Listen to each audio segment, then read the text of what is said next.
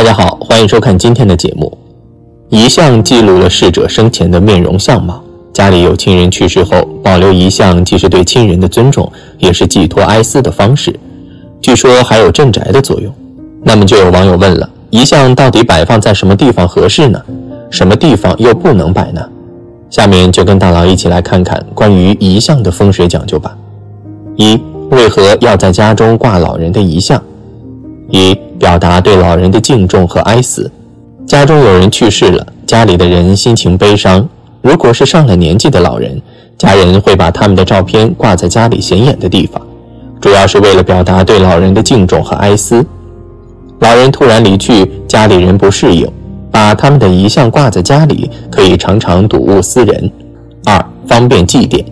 人去世之后，在不少地方都保留着祭奠的习俗，有些地方会把家里的老人遗像放在显眼的位置。每当逢年过节，都要置办三牲来祭拜，特别是在老人的忌日，家里的亲人都会聚在一起祭拜，把老人的遗像放在家里显眼位置，方便后代们祭奠。三、铭记老人的贡献，教育后代子孙。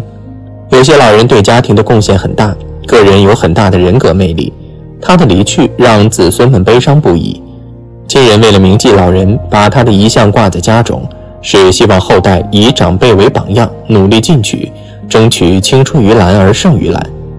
时间久远，亲人害怕后辈忘记先祖的贡献，留下老人的遗像，是告诉后辈。自己祖上曾经很显赫，激励后来者。二，遗像摆在哪里风水好？一，放在家族祠堂中。在不少农村地区有建立祠堂的习俗，像我所在的农村，不同姓氏、每个宗族都有自己的祠堂。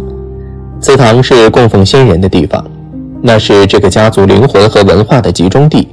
族人会把家中去世老人的牌位和遗像放到祠堂里。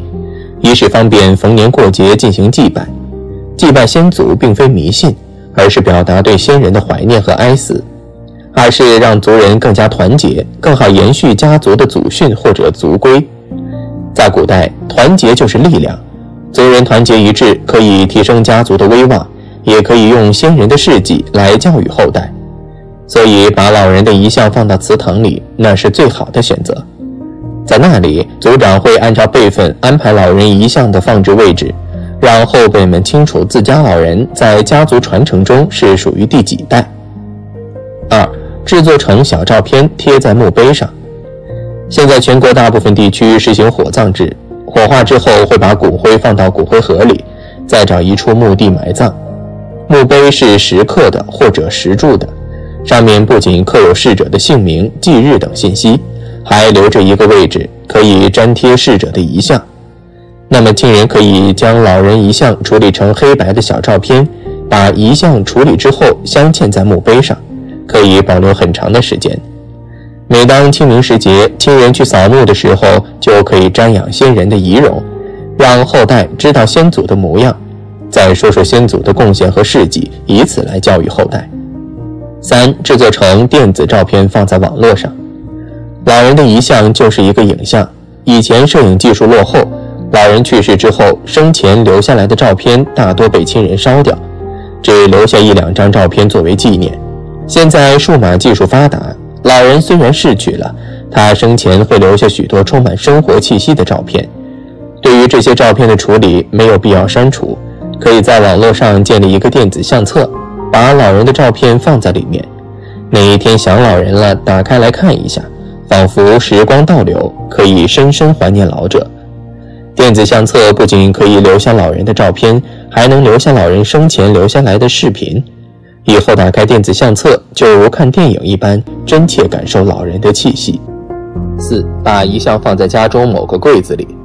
在农村，有些人家家里的房子较多，他们会把逝去老人的遗像集中放在某一间屋子里，在屋子里放置一个柜子。只要是家里有人去世，留下来的照片通通放在里面。逢年过节想要祭拜的时候，再把遗像拿出来，这样遗像不会饱受风吹日晒，也不会沾满灰尘，可以保留较长的时间。若是在城市里没有多余的房间可以收纳，有的人会把遗像放到收纳箱或者衣柜里，这也是妥善保存遗像的一种方法。五，把遗像放在家中的神台。一般在农村，家中堂屋的挑山机上都会供奉神像，也就是所说的神台。摆放位置也有讲究，一般神像居于正中，遗像放在神像的两侧，遵循男左女右的原则。六，把遗像挂在照片墙上。如果自己的村上没有祠堂，家里房间空间不足，也没有神台，可以把遗像放到照片墙上。一般把遗像放在照片墙上的右上方，因为右上方是上位，表示对逝者的尊重。七，把遗像放在书房。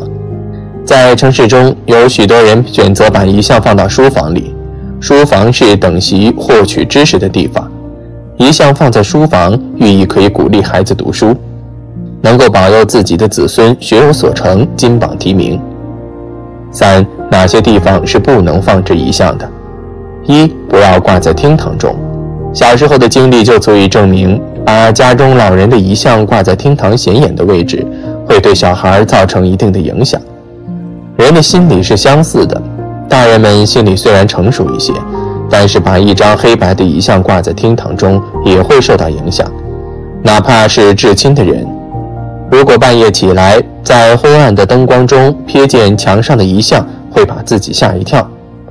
因为厅堂是家里会客的主要场所，客人来访时看到逝者的遗像，心里会很不舒服。若在厅堂吃饭，总感觉有个人盯着，会很拘谨，更不敢随意喝酒开玩笑。这样做似乎对先人的不敬。二，不宜挂在厨房或厕所边。厨房和厕所是家中重要的位置，一则跟吃饭有关，另一则跟排泄废物有关。在这两个地方挂老人的遗像，是对老人的不敬重，会让客人认为这家人没有教养，不懂得尊敬长辈。三，不能放在孩子的卧室中。有的家庭孩子是长辈带大的，老人跟孩子感情深厚，于是老人去世之后，由于家里空间有限，就把老人的遗像放在孩子的卧室中。这样的做法很不妥当，因为孩子年幼，心智不成熟。有的孩子喜欢看鬼片，想象力丰富，容易自己吓自己。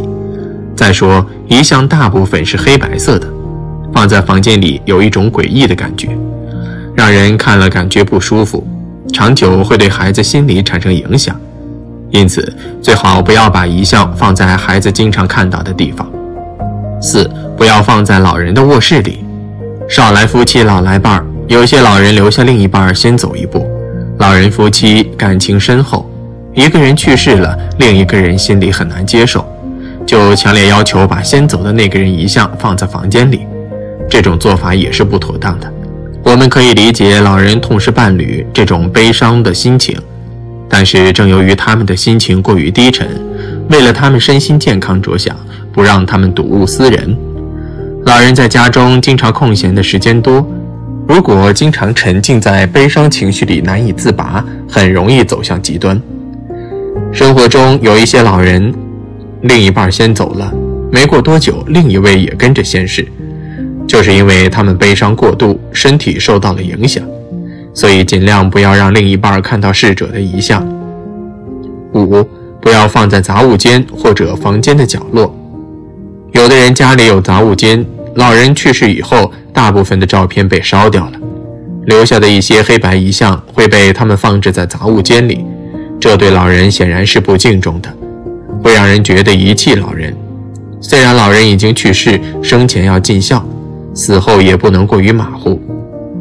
六，不宜放在阳光灿烂处，阳光灿烂的地方，比如说阳台、玻璃房这些地方都不适合，因为遗像从阴阳上来讲是属阴的。放在阳光明媚的地方，与其属性不太符，时间久了，遗像也会氧化变黄。百里不同俗，千里不同风，有的地方是不允许留遗像的，去世后就烧掉了。对于遗像摆放位置，只要不太违背常规，心中有爱，天堂的亲人肯定会保护你平安幸福的。好了，今天的分享就到这里，愿您时时心清静，日日是吉祥。期待下次与您的分享。